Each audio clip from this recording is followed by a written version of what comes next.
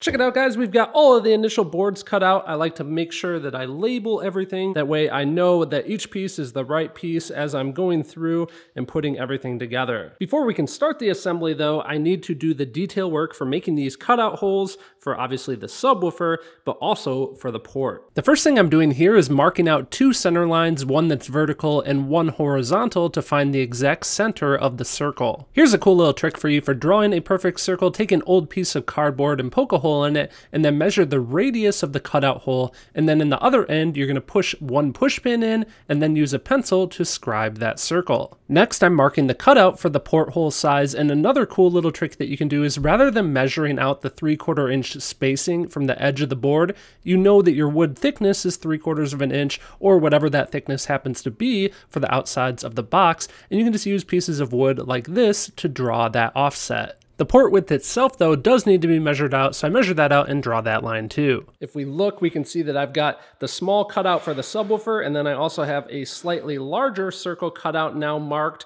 for the outside flush mount around the sub. Now that I've laid everything out, we can move on to doing the cutting. Now we could just use a jigsaw and take our time to carefully cut this circle as well as this rectangle for the port, but using a jigsaw by hand like that can lead to a slight amount of error. So we're gonna be using a template along with some straight edges here with the flush trim bit over on the router. So in order to do that, the first thing I'm going to do is rough cut using the jigsaw. And by rough cut, I mean I'm going to actually save a little bit of material. The reason for saving a little bit of material like that is it gives some material for the router bit to actually remove. So right now I'm sticking the template on using double-sided template tape, and then here over at the router, the top bearing rides against that template and then cuts what's down below. This really gives us a nice perfect cut and finish. Now you can see that I'm removing these templates from the boards and getting rid of that template tape, and now I can turn my attention to cutting out the rectangle for the port. In this case, I'm using some straight edge templates, but you could also use some old pieces of wood that have a straight edge as well. I want to make sure that the port cutout for each of these pieces is perfectly flush, so I'm sticking them together and using the one that I just cut to transfer that shape to the next. Now that we've made the cutting passes on the router, you can really see the precision that that tool gives us on the subwoofer cutout here, as well as the port. I can't wait. I got to see how that subwoofer looks. There it is. I like it. So these edges around the subwoofer and around the outside of the box and around the port, they're a hard 90 degree corner right now. I do want to soften those up, so I'm going to use a round over bit. I'm just going to focus on these inside edges for right now. I'll do the outside edges once the enclosure is completely finished because I'm to round all of the corners over. If you look at the top view of the box here, you can see on the port walls, that those corners are rounded over as well. So I'm gonna do the roundovers on those pieces right now while we have that bit loaded too.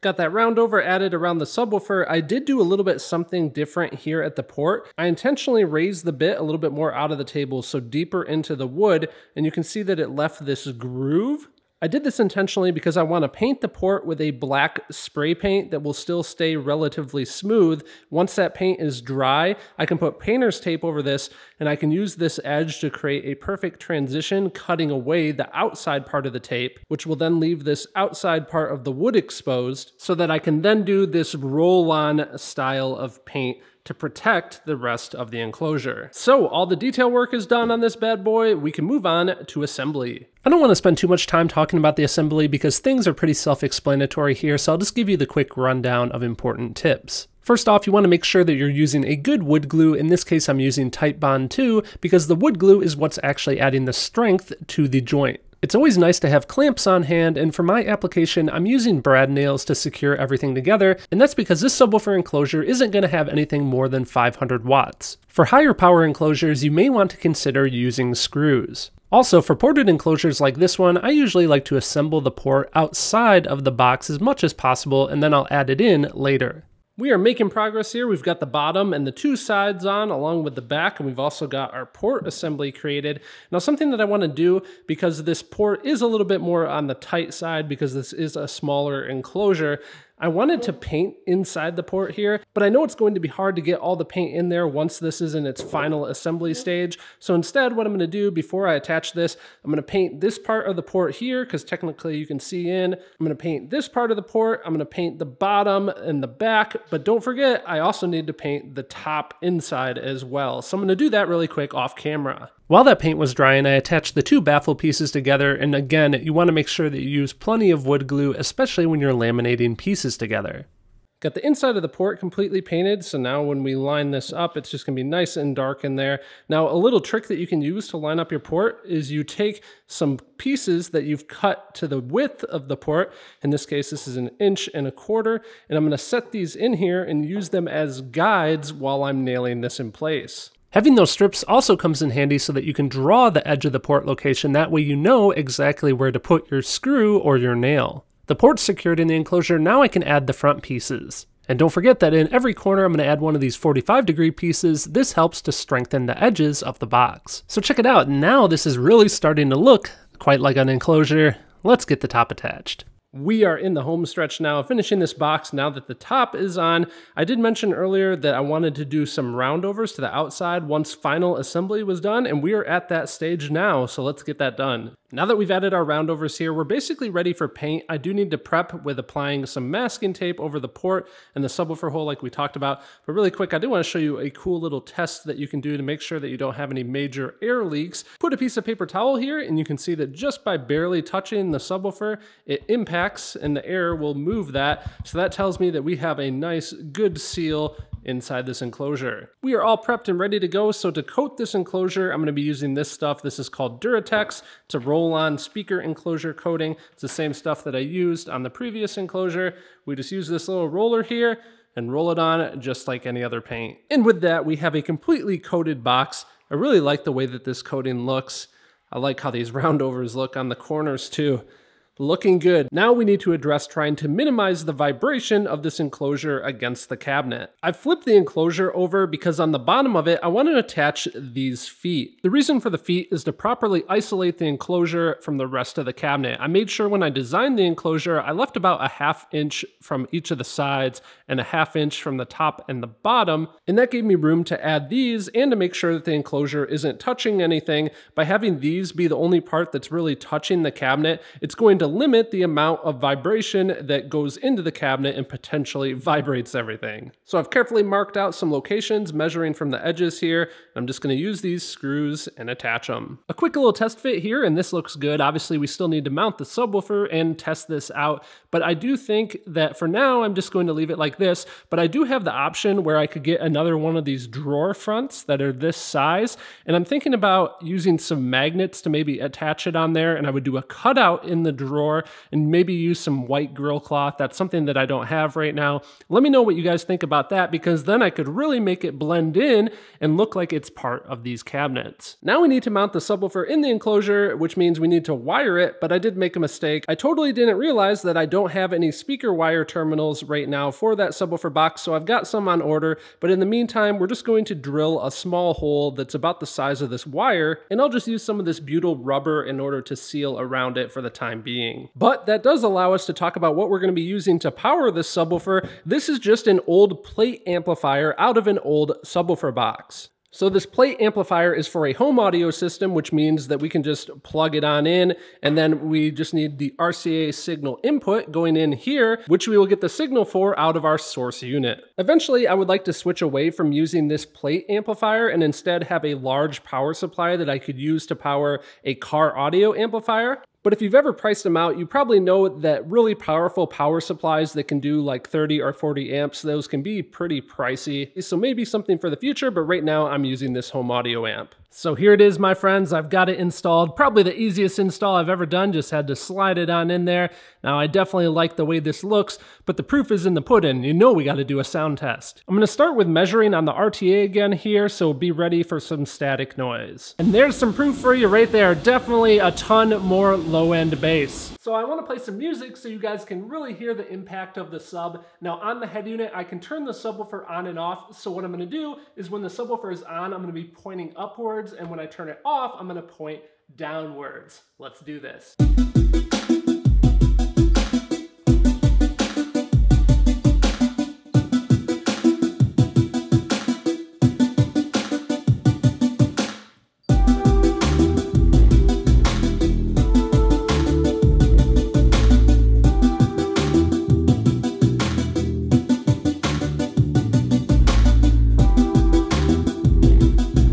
Now, as far as vibration goes, there's definitely stuff in the shop that's rattling. I've noticed that it seems to be more kind of my router bits more than anything. I'm actually really surprised because in these drawers, this is where I keep all of my screws and my different bolts and fasteners. And surprisingly enough, these don't really seem to rattle.